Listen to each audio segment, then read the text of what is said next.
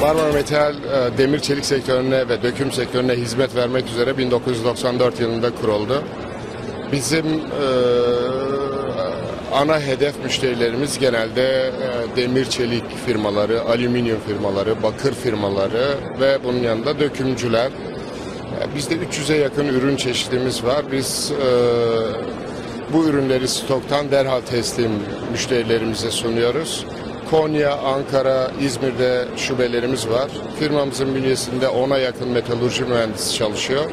Aynı zamanda e, teknik servis de veriyoruz. Sadece malzeme satışı yapmıyoruz. Firmalarımızın problemlerini çözüyoruz. Genelde ana ürünümüz pik demirdir. Hemen hemen döküm sektörünün %70 pik demir ihtiyacını biz karşılıyoruz. Peki müşteri portföyünüz hakkında bilgi alabilir miyiz?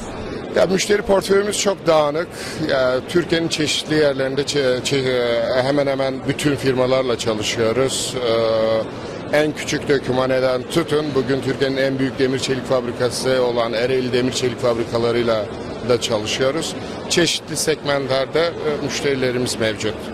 Peki döküm sektörünü bir araya getiren organizasyon hakkındaki düşüncelerinizi alabilir miyiz?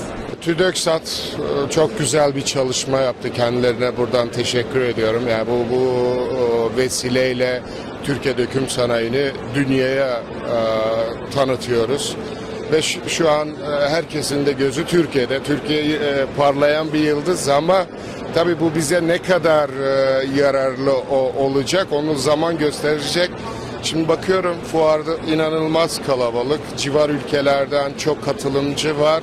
Biraz da bu hem avantaj hem de dezavantaj. Bakıyorum çoğu insan Türkiye, herkes Türkiye'ye bir şeyler satmaya gelmiş.